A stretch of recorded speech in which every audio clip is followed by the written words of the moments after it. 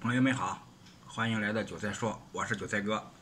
昨天啊，所谓的郑州市民围攻外国记者的视频炸锅了，很多人啊比较义愤填膺啊，表示因为这些渔民啊自己将不再关注河南洪灾了，尤其郑州这一块儿，看起来很正义吧？的确，那些正义的表情啊，很有点像那个李玉和上刑场时的大义凛然啊。可问题是，你不关注河南洪灾，谁最高兴呢？是河南普通老百姓，还是某些人呢？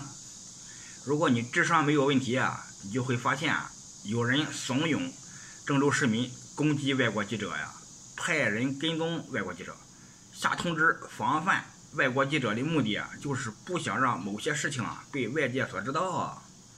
外界如果不知道那里发生了什么，某些人的面子也就好看了。换句话说啊，攻击外国记者是不希望外界关注我，而你因为某些渔民的愚蠢也不关注，那这岂不是异曲同工啊？你也是助纣为虐啊！是的，外界不能关注啊，是因为某些人的阻挠啊。某些人，韭菜哥不说，朋友们都知道。而你不关注，则是因为你上当了。被所谓的渔民的行为啊激怒后，失去了应有的理智。韭菜哥为什么这么说？很简单啊，从不相信围攻外国记者的人都是真心爱谁的，他们啊只是被人利用了，带头的或者是挑事的，肯定不是普通郑州市民呀。这就像当年反日游行中带头的不是老百姓一个道理呀。走群众路线，发动群众阻挠记者采访。比他们直接下令禁止采访，那要高明的多呀！因为啊，外面一旦反应过大，他们就会一摊手，满脸无辜的说：“那是群众自发的，我们这里的新闻是自由的。”呵呵呵呵，这个道理大家不懂吗？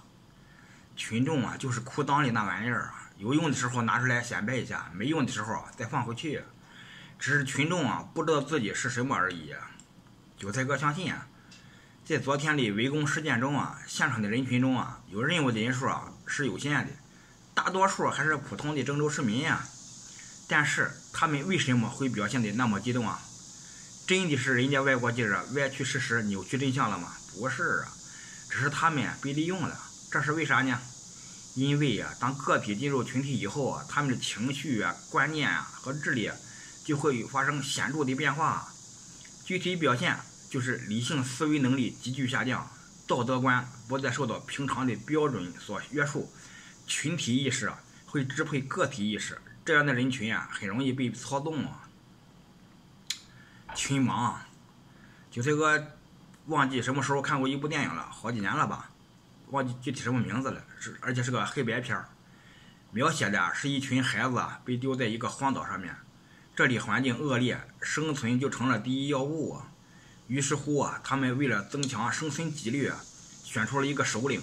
在这个首领的带动下，他们围着火圈跳舞，他们步调一致，口径一致，齐声高唱猎杀野猪之歌，看起来很团结，很快乐吧？但是要记住，这是荒岛，资源有限。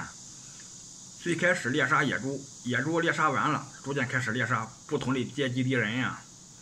群众开始疯狂起来，狂热起来，慢慢的抛弃了拉尔夫的理性思维呀。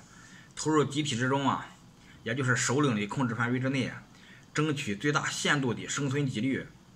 从开始的误杀到后期的受煽动的主动捕杀，群众已经没有了自己的意识，无法进行理性思考。看完这部电影时啊，韭菜哥一直在思考，到底是恶劣的环境促使了恶的滋生，还是人性本恶在无秩序的环境中得以最大限度的激发呢？令韭菜哥印象深刻的就是啊，在集体中啊，只要首领提出观点，群众就会高声附和。我们回头看看郑州那个场面，多么的相似啊。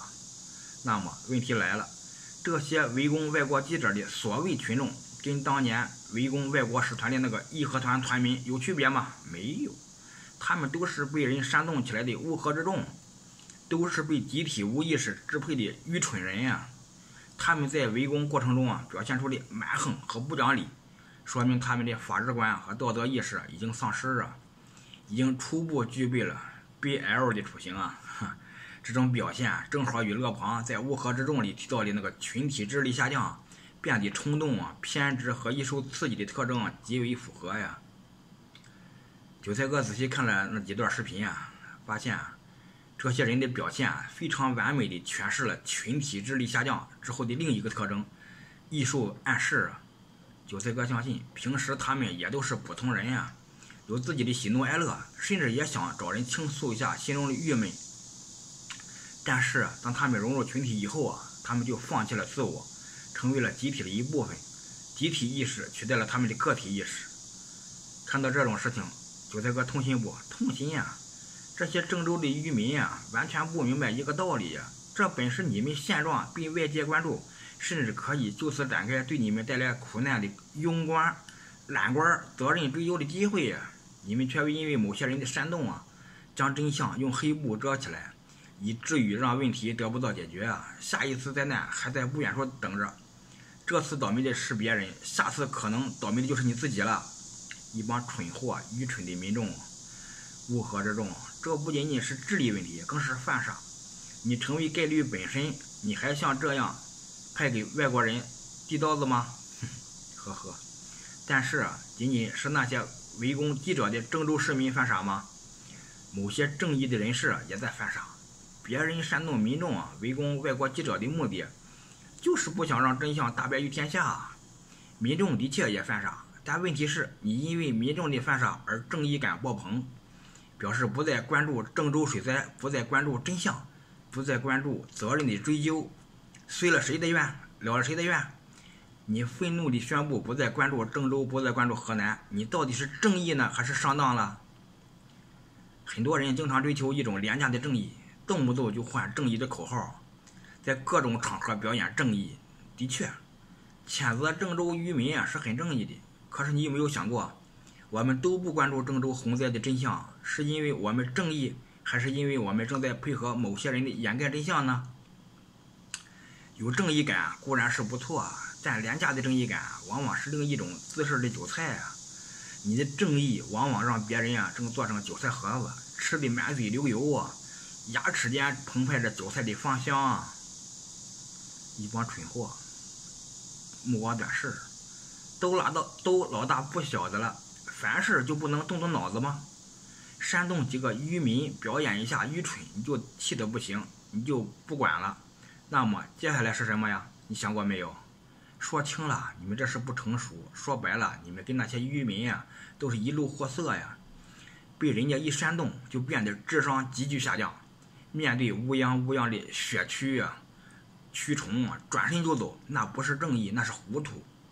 被人家一击就觉得万念俱灰啊，那是犯傻。这里是韭菜说，我是韭菜哥，感谢朋友们收看，我们继续关注河南大水、河南暴雨。朋友们再见，下期再见，拜拜，朋友们再见。